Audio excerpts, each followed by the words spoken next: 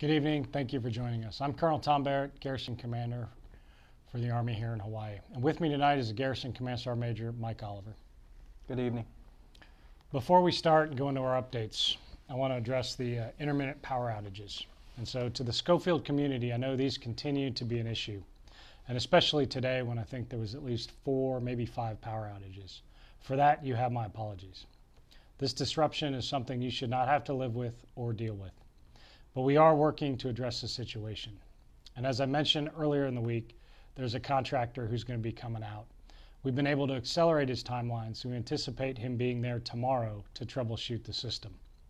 I appreciate your understanding as we work to prevent the problem from reoccurring in the future. We will continue to keep you posted on the results and the status of the power station. The current health protection condition remains at Bravo. The state announced 17 new COVID cases today.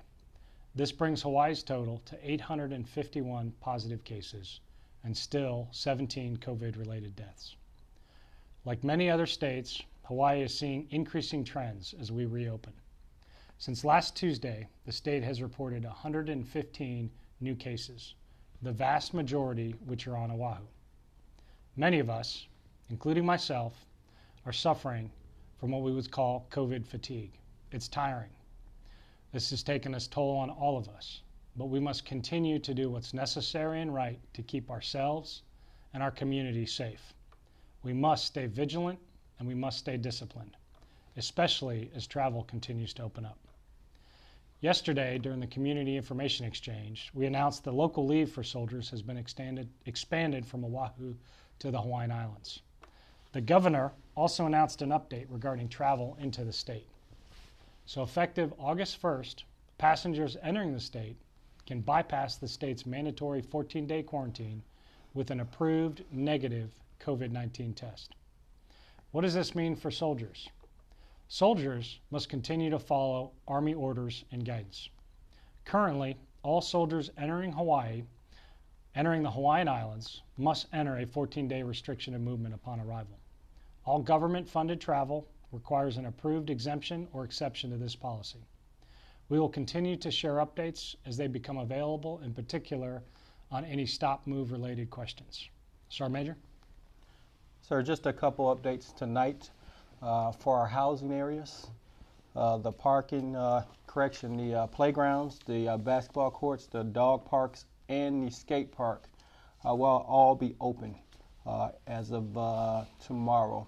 However, we, we caution you on this as you are playing at your own risk, as these things are not cleaned uh, to the standard we would like them to be cleaned to protect all. So as you go out there and enjoy those things, understand uh, what you're dealing with when you go out there and, and play on the playground. Uh, for our pools, uh, for Richardson and Tripler Pool, they will open on the 26th. One, uh, on 1 July, HMR's pool will open.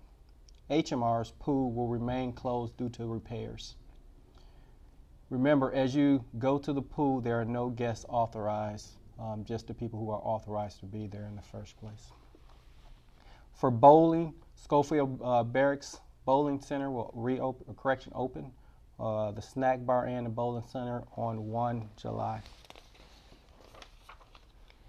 If you need to get your vehicles registered or things of that nature, the satellite uh, City Hall will reopen on 1 uh, July. You can go on their website to make appointments, or you'll be allowed to go in person. That's it, sir. Thanks, Sir Major. I want to say mahalo to everyone who's been slowing down on their morning drives. It's been almost a month since we've kicked off Operation Slowdown on Schofield Barracks. The lower speed limits promote safety for our keiki and soldiers conducting PT. Speeding is an issue around our installations. And together, by following the speed limits, we are making the community a safer place to live, work, and play. So I thank everyone for doing their part and following the reduced speed limits. Sergeant Major, anything, uh, any updates on AER? Yeah, I got one more update on AER. So AER did here in Hawaii about 45% of its goal of 131K um, based on COVID. Uh, so they are asking that we redo part two of AER, which will start on 1 July and go through the 31st of July. You'll see the signs or thermometers outside all of the installations say where we're saying where we're at far as tracking the amount of funds that were donated. So uh, we would appreciate your support in that. That's soldiers helping soldiers uh, to get uh, to where we can to help all soldiers. Uh, if you are requesting a loan, though, you'll experience longer times because the process is online, so you can expect it'll be two to three or up to five days before the soldiers will see the money in their account. So uh, if you need it, it will always be there for you, but it will take a little bit longer, sir. Thanks, Sergeant Major. And, and I believe, I think they've also expanded their program. So if you have a child in, I think it's uh, kindergarten through 12th grade, and you paid for school supplies for homeschooling, you may be eligible in up to $500 of financial assistance. And if you visit Army Emergency Relief, uh, there's more information on their homeschool assistance. Next week, the Army is kicking off National Hiring Days. It is a national campaign from 30 June to 2 July. The goal is for the Army to hire 10,000 new soldiers. It's offering recruits potential of a $2,000 bonus and four year scholarships. There are more than 150 opportunities in science, medicine, and many other fields. You can choose how to serve, whether it's full time on active duty or part time with our Army Reserve or Army National Guard. The 25th Infantry Division will be hosting potential recruits next Tuesday, 30 June. You can follow the 25th ID Facebook page to see them experience a day in the life of an Army Hawaii soldier. For more information on the Army's hiring days, go to goarmy.com backslash hiring days. Now today's spotlight on strength is a little different from normal. Today marks the 70th anniversary of the Korean War, often referred to as the Forgotten War.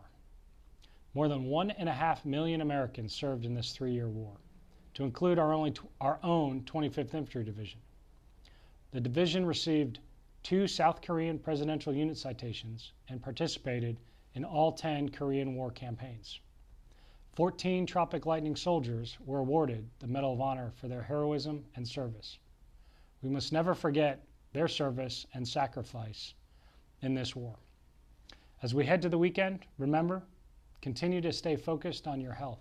Protect yourself protect your family, and protect your community. Please message us for any suggestions, comments, or concerns you might have. The Garrison website will provide the latest updates on all openings or anything we've discussed today. Please continue to monitor that for the latest information. home.army.mil backslash Hawaii. We'll see you again next Thursday night. Thank you and have a great weekend. Have a good night.